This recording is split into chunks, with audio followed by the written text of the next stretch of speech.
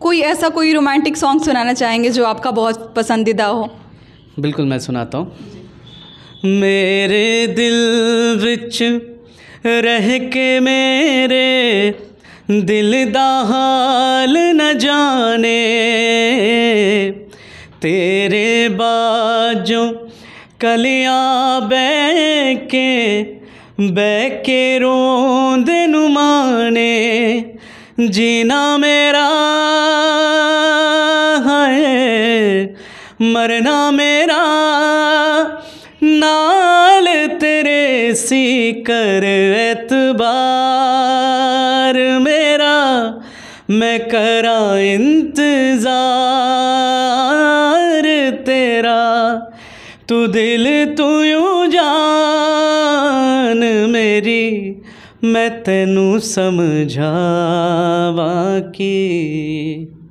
Beautiful beautiful मतलब ये जो मेहनत है इतने दिनों का ना संघर्ष जो है वो आपके गले में अभी दिखाई दे रहा है आपकी आवाज़ में सुनाई दे रहा है। और साथ में अगर मैं कहूँ कि भविष्य आप कहाँ देखना चाहती क्योंकि आपके गाँव से पहले तो मैं उसके बारे में चर्चा करना चाहूँगी कि बहुत रिसेंटली एक लड़का जो है आपके गाँव से बहुत ऊँचाई पर जा रहा है बहुत हम लोगों को ऊँचाई पर जाते हुए दिखाई दे रहा है। क्या बोलना चाहेंगे उसके बारे में? आ, बहुत बहुत शुभकामनाएँ मेरे क्षेत्र का लड़का है और आपको भी मैं बताऊँ कि मेरा स्टूडेंट भी रहा है एक डेढ़ अच्छा। महीने के लिए और अमरजीत जयकर आपके स्टूडेंट रहे हैं जी अच्छा। बिल्कुल और मुझे बड़ी खुशी है कि वो इतना आगे गया है और मेरी ढेर सारी शुभकामनाएँ आशीर्वाद कि वो और भी आगे जाए जिस जगह पे वो हमेशा जहाँ से वो रिजेक्ट होके आया था इंडियन आइडल के मंच से वहाँ पे उसको ऑफ़र किया जा रहा है कि आप अगले सीज़न में हमारे साथ खड़े रहेंगे। ये आपने सुना तो आपको कैसा लगा? बहुत अच्छा लगा कि क्योंकि बहुत टाइम से ये था कि सीख रहा है वो अपने परिवार में भी चीज़ों को देख रहा था। और सीखने का ये है कि उसने भी स्ट्रगल किया है। और स्ट्रगल करते करते उसको आज अगर इतना फेम मिला है तो मुझे बहुत खुशी है। आपने कभी ट्राई नहीं किया कि किसी बड़े किसी प्लेटफॉर्म पे अपना हाथ आजमाया जाए?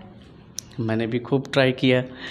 और Indian Idol Sa Re Ga Ma Pa Rising Star India's Got Talent इन सब में मैंने ऑडिशंस दिए।